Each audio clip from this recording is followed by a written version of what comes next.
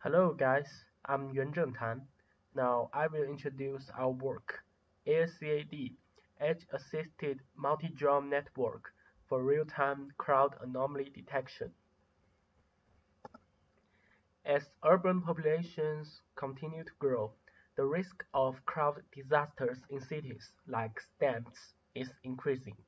Recently, drones connected via the web are increasingly being used for crowd anomaly detection to prevent crowd disasters.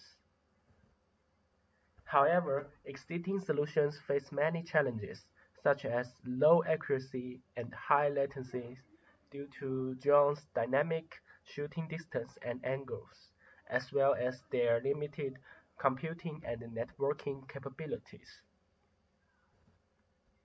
In this paper, we propose AirCAD, an edge-assisted multi-drone network that used the air-ground cooperation to achieve fast and accurate CAD. AirCAD consists of two stages, person detection and multi-feature schedule and analysis.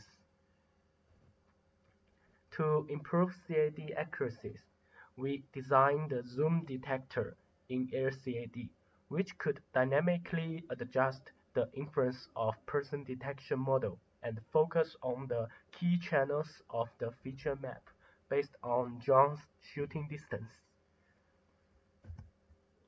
To achieve fast CAD, edge devices connected to drones are deployed to offload assigned feature analysis tasks from drones. AirCAD assigns appropriate feature analysis tasks to drones shooting at variable angles, and schedules the connection between each drone and edge to accelerate processing based on drone's assigned task and the computing and networking resource of the edge device. To validate the performance of AirCAD, we generate a new simulated human stamps dataset captured from various drone view recordings. We deployed and evaluated AirCAD in both simulation and real-world testbed.